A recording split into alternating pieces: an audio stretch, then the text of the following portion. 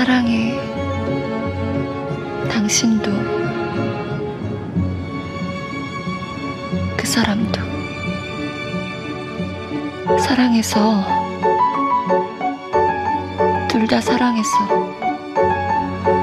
미안해.